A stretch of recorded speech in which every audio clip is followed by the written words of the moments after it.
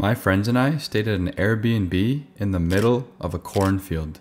And by some miracle, there was a pond right next to our cabin, so I had to find out what fish lived inside of it. I grabbed my rod, put a piece of bread on my hook, and right after dropping the bread next to the dock, this happened.